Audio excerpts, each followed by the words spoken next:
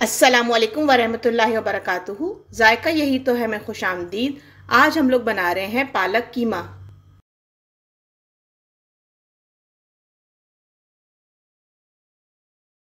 कीमा पालक के अज्जा हैं इसमें हमने कीमा ले लिया है 250 ग्राम और जो टमाटर है एक मीडियम प्याज है बाकी इसमें जो है ये पालक सोया और मेथी है ये जब मैं डालूँगी तो सही क्वांटिटी आप लोगों को सब बताऊँगी सारे मसाले। बिस्मिल्लाह रहीम के साथ हम डिश का आगाज़ करते हैं। तेल को हमने गरम करके उसके अंदर एक मीडियम जो अनियन है चॉप वो डाल दी। इसको हम गोल्डन ब्राउन कर लेंगे।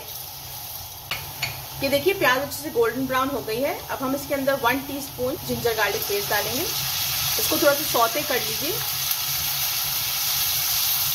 और अब हम इसके अंदर दो मीडियम हमारे टमाटर थे, वो हमने पीस लिए। वो मिक्स कर दिए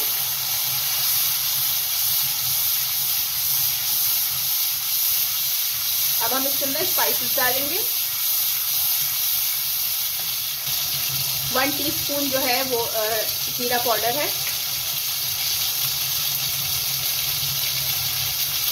हाफ़ टी स्पून हल्दी।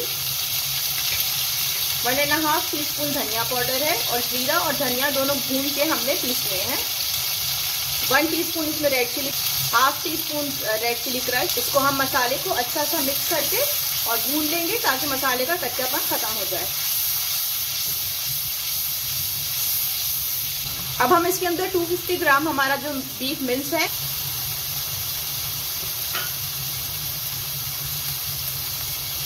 अब इसको खूब अच्छे से हम मिक्स कर लेंगे मसाले के साथ। हम लोग पहले कीमे को अच्छी तरह से मसाले के साथ भूनेंगे। फिर हम उसके बाद इसके अंदर पालक, सोया और मेथी डालेंगे। अगर हम लोग जो ये डाल रहे हैं इसमें पालक जो है वो एक गड्डी है, सोया इसमें वन फोर्थ गड्डी है और थ्री टेबल स्पून इसमें मेथी है। ये सब हमने ऐसे चॉप कर दिया है। अब हम इसमें डाल देंगे। अब हम इसका जब पकाएँगे तो जो पानी, पालक और इन सब चीज़ों का छूटेगा, इसी में कीमा भी गल जाएगा और पालक भी अच्छे से, पालक, मेथी और सोया भी अच्छे से यकजा हो जाएँगे। नमक जो है इसमें हम हल्दी जायका डाल रहे हैं, क्योंकि पालक में भी नमक होता है। ढक के पकने के लिए रख देंगे दरमियानी आँच के ऊपर। ये देखिए, हमारा कीमा अच्छे से हो गया है, और पालक भी अच्छे से बिल्कुल उसके एक यकजा हो गई अब हम इसके अंदर वन फोर टी स्पून हमने गरम मसाला डाला था, और अब हम इसके अंदर चॉप हरा धनिया डाल रहे हैं, और तीन से चार हम इसमें हरी मिर्चें डाल रहे हैं। ये आप चाहें तो काट के भी डाल सकते हैं, अगर आपको तेज़ी पसंद है तो। इसको मिक्स कर लीजिए। इसको बस दो मिनट के लिए हम दम देंगे ताकि अच्छी सी खुशबू आ जाए, हरी मिर्च और गरम मसाले की। और फिर उसके बाद हम इसको सर्व करेंगे। सर्व कर रहे हैं कीमा को।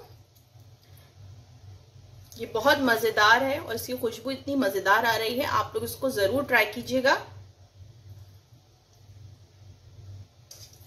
हमारा पालक कीमा बिल्कुल तैयार है। ये बहुत मज़ेदार रेसिपी है। आप लोग इसको ज़रूर ट्राई कीजिएगा। अगर आपको हमारी आज की वीडियो पसंद आई है तो इसे लाइक ज़रूर कीजिएगा। और अगर हमारे चैनल पर नए हैं तो सब्सक्राइब करना नहीं भूलिएगा। और साथ ही में बेल आइकन को भी प्रेस कीजिएगा।